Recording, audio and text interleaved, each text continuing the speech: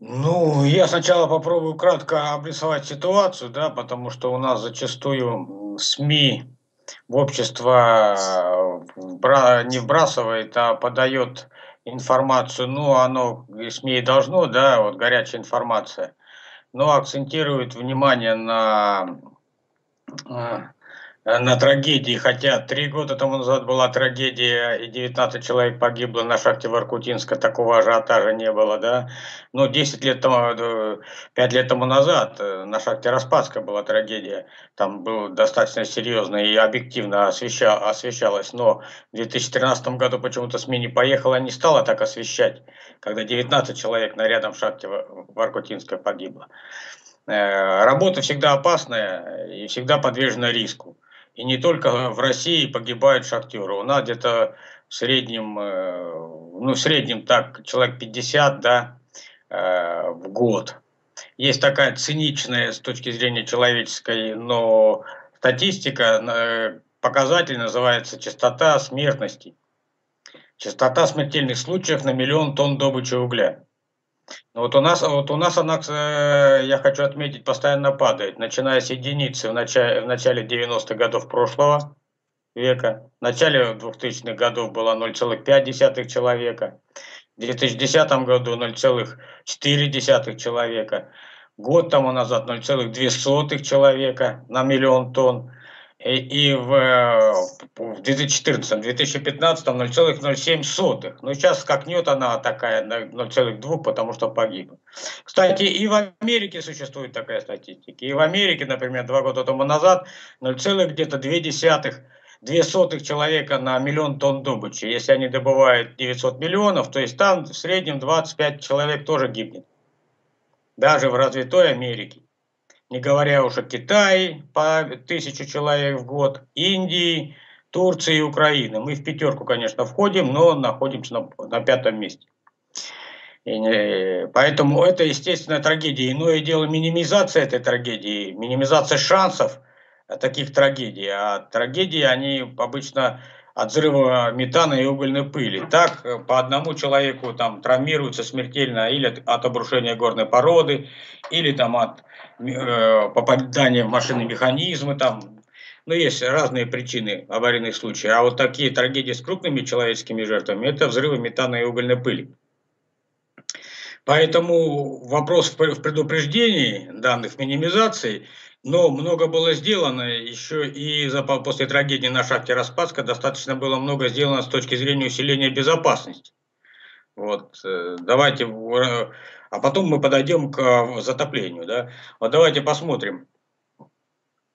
Введена была обязательная дегазация э, угольных пластов перед отработкой.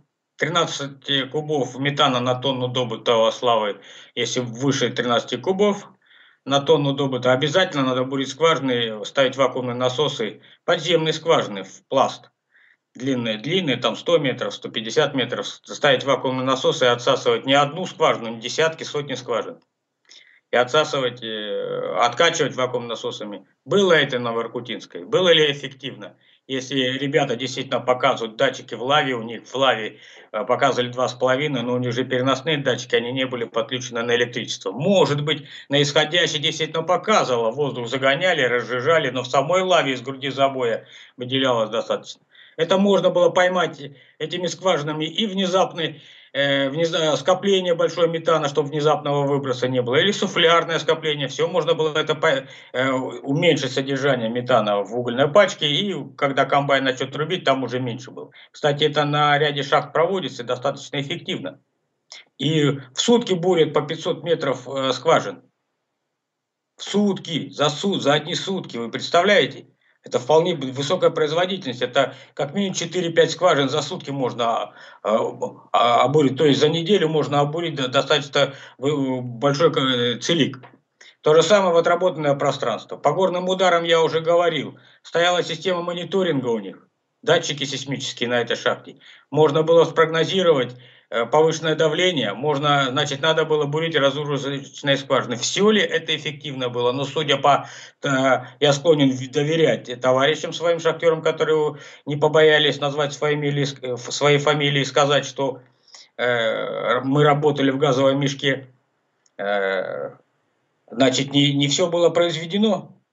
Значит, на предприятиях Воркута угля не были проведены эффективные достаточные меры по дегазации угля, минимизации возможности появления высокой концентрации метана. Второе, метан сам по себе не взрывается, должен быть источник воспламенения. Значит, кто? Э, здесь вариантов несколько. От отключения, э, от блокировки электрооборудования – что может быть нарушение взрывобезопасности электрооборудования. Обычно такой источник э, статистика говорит где-то процентов 30 искра появляется. Второй момент, э, процентов 15, 10-15 это фрикционное искрение о породу шнека, когда он рубит, а там прослоек был. Там 4 метра мощность пласта, посередине шло, шел, шел прослоек породы. Может быть от этого искра быть. Или искра от, от посадки большой, большой площади нависшей породы в отработанном пространстве. Кстати, когда наконец-то Роскомтехнадзор начал Э, корректировать свои, свою позицию после, э, а, после возмущения общественности, в том числе и после моих комментариев, прошедших в СМИ, да, и я не говорю, что это только я, это общественность тоже говорила, когда мы говорили, а при чем здесь природный фактор? Тогда уже на встрече с э, Путиным глава Роскомтехнадзора Алешин уже сказал, одна из версий рассматривается природный фактор – то есть уже пошли подвижки, да. Но там аномалия, большое отработанное пространство, большой массив сел в отработанном пространстве. Так это называется наука управления гор... кровлей у нас в горной науке. Если большой чемодан завис в отработанном пространстве, и он может сесть и выдавить, а там, значит, пустоты туда, э, воздух, воздух славы поступает метан, и при большой посадке оттуда, естественно, выйдет воздух. Но, мужики, это, это скорее всего так, для виду. Мужики разговаривали, что там был газ и в куполах небольших, э, полуметровых, там есть непосредственная кровля, она легкая, мы называем ее ложной, которая сразу обрушается при э, сдвижке. А есть основная кровля, которая обрушается по, попозже, по истечению определенного времени. То так вот ложная кровля создает куполки, такие небольшие э, купола. Так, она говорит, в куполах было по 80% метана. Значит, там не, не извлекали, не, не проводили эффективную дегазацию. То есть есть эти вопросы, и я, мы будем э, стремиться к тому, чтобы на эти вопросы ответил не сотрудники Росготехнадзора, которые обязаны были проверять и контролировать эффективную дегазацию, а сейчас устанавливают вот так причины э, аварии, а следственные органы с привлечением независимых экспертов.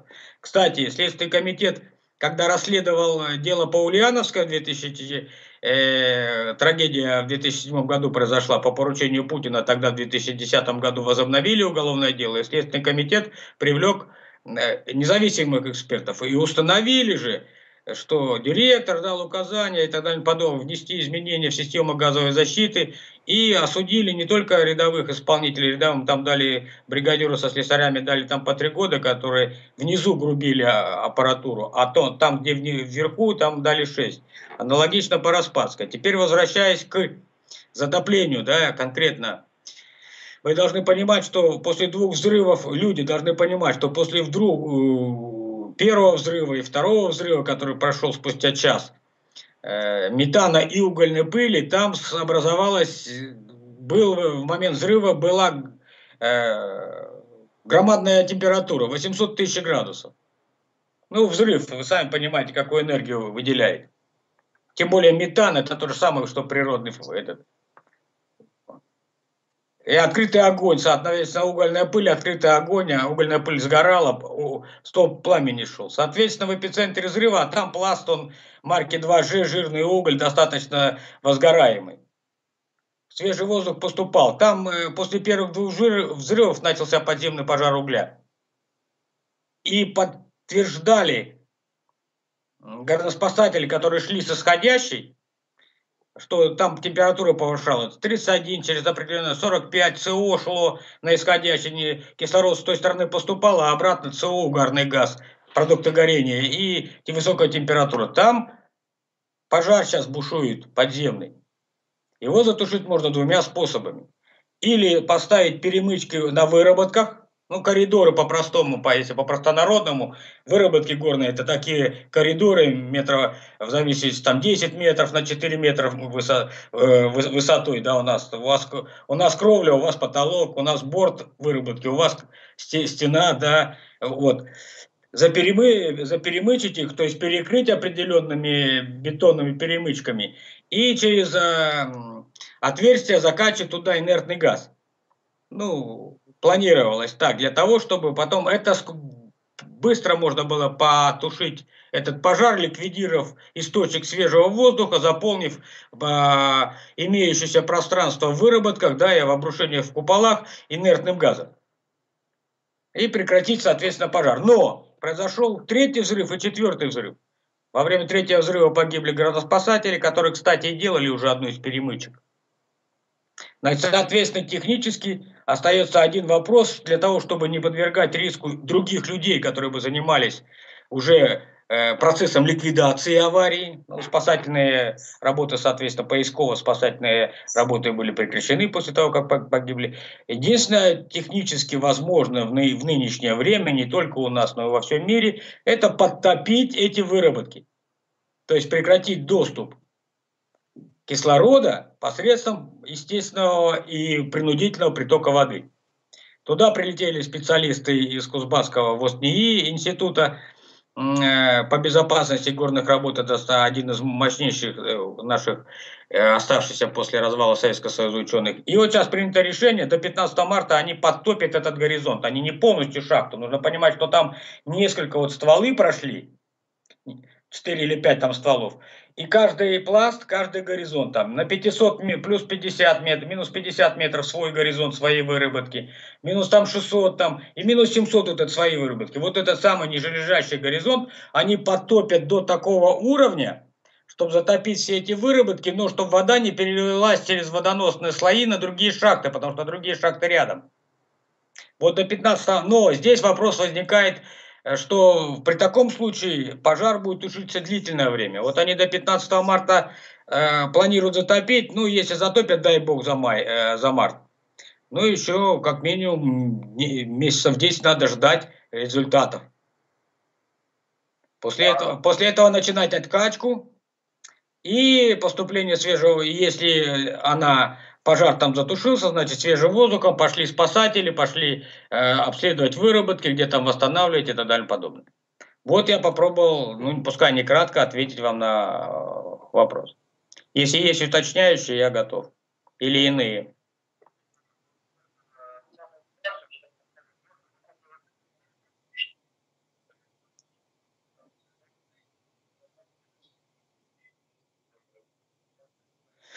Ну вот, смотрите.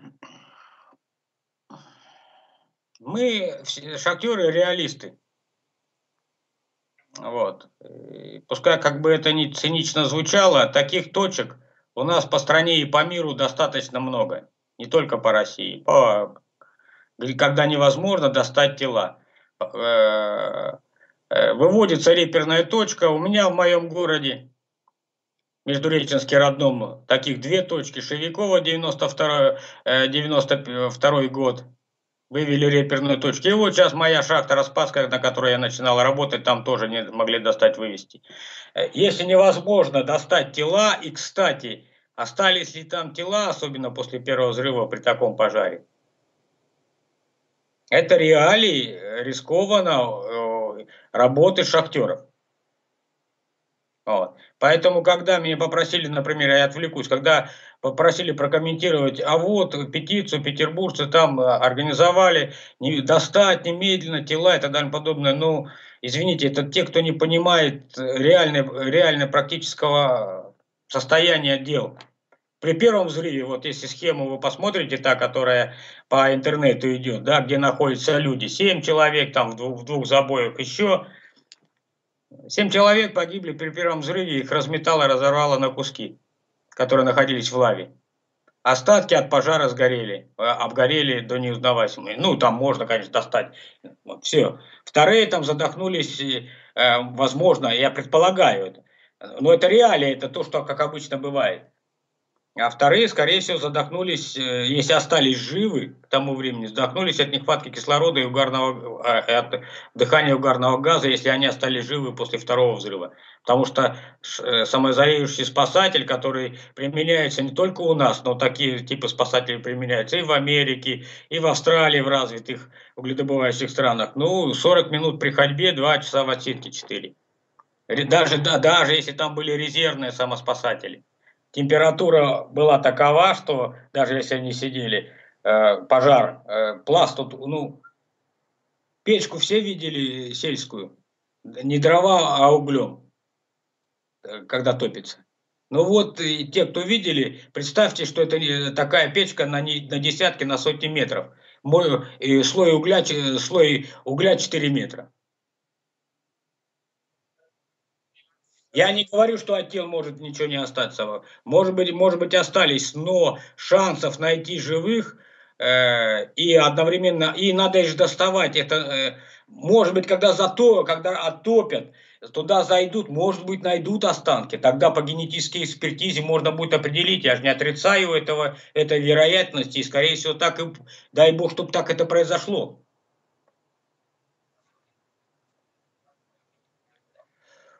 Если шанс на захоронение а, оста... части останков остался, и я, я полагаю, что вне, вот если произойдет, все равно туда э, спустятся первые горноспасатели, эксперты и следственные органы.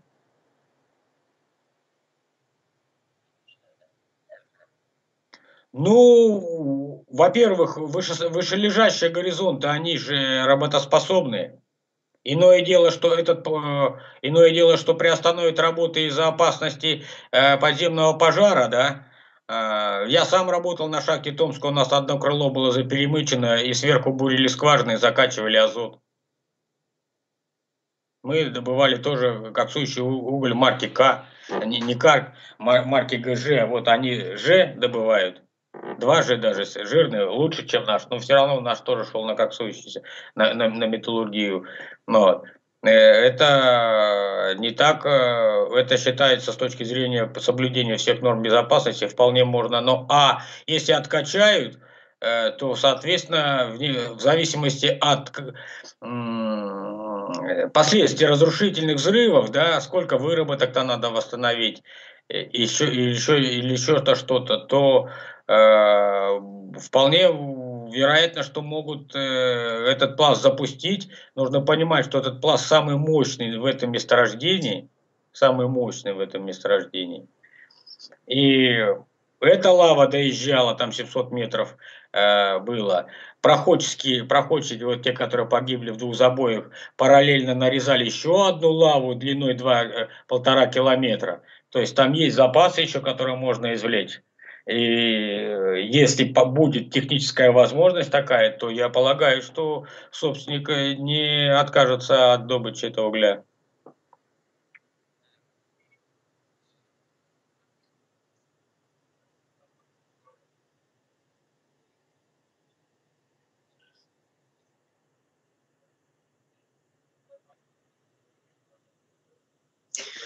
Ну вот смотрите, у нас с 2010 года что было предпринято по, по, по максимуму? Введена обязательная дегазация. Вот, вот о чем я говорил, да, то есть предва, э, э, в обязательном порядке ввели э, принуди, предварительную дегазацию угольных пластов перед э, выемкой. Вопрос, и она, кстати, работает. Это в Воркуте, у меня вопрос, почему в Воркуте она не сработала тут я постучу э, по этому самому, э, не хочу сглазить, но на других, э, на предприятиях э, Кузбасса, ряда предприятий Кузбасса, э, она работает. Вот о чем я говорил, по 500 метров скважин бурят в сутки. Это лаву за неделю обуривают вот такого, так, такого длина, и извлекает, но не весь метан, но процентов 30 до 50 процентов э, находящихся в, в угольной, в пласту метана извлекает. Вопрос, что там существуют нюансики, мы сейчас посмотрели, определенные там. И если методами проветривания невозможно достичь на исходящий 1%, То есть, а вот мы же 3-4 скважины пробурили, и воздуха побольше выработка загнали, у нас 1% есть, нам лишние скважины бурить не надо. Скорее всего, именно так поступали, э, скорее всего, именно так поступали в Аркуте. То есть, если жестко будет установлено убрать этот пункт, э, а, э, методами проветривания, свыше 30, 13%, 13 кубов есть, выделение из груди забоя при производительности такое, есть там, загонять, сколько вы воздуха загоняете, на у вас исходящий 1%, все равно вы обязаны пробурить определенное количество скважин и извлечь метан. В отработанное пространство аналогично. То есть надо просто дальше мы двигаем, мы двигаем с 2011 года, двинулись в этом направлении. Кстати, обязательно дегазация действовала, действовала только в Соединенных Штатах и в Австралии, насколько я знаю. И сейчас мы третья страна, которая ввела обязательную дегазацию в мире. Вот, вторая позиция. Была усилена ответственность младшего и среднего инженерно-технических работников, младшего горного надзора, где как раз вот э, грань между исполнителем, фактически они иногда или принуждали, и с их, или с их молчаливого согласия проходил, включался так называемый исполнительный человеческий фактор на уровне э, нарушения, грубых нарушений взрывобезопасности, да, вот про, про датчики, про которые говорили. Сейчас датчики-то, конечно, невозможно загрубить, но вот на этот уровень. Но а, отсутствует ответственность э, материальная высшего надзора. Правильно ли они рассчитали? Вот они обязаны были принимать решения по профилактическим мерам. Они обязаны были принимать э, все, все эти решения. И отсутствует э, э, серьезная ответственность материального собственника. Да, его обязали страховать.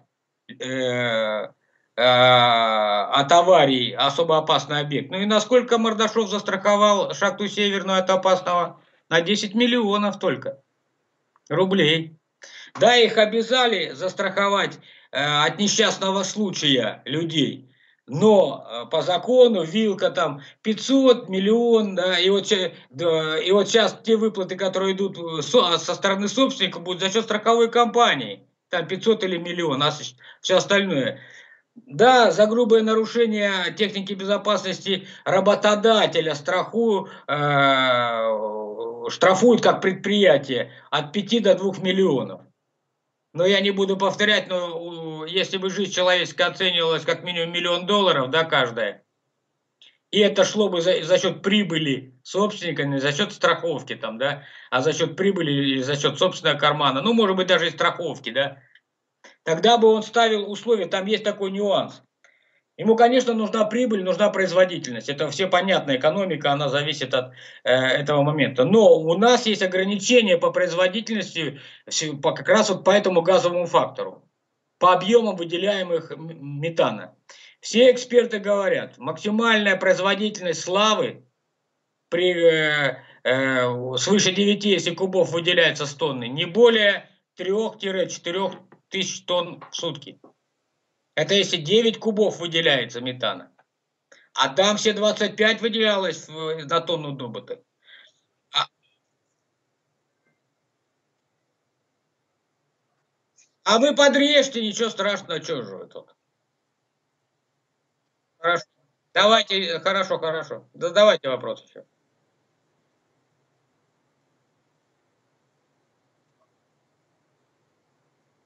Да, понимаю.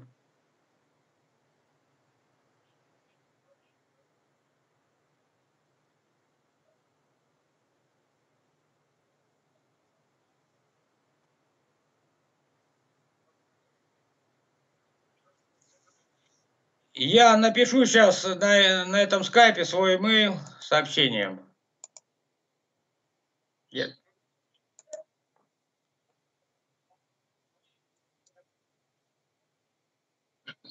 Хорошо.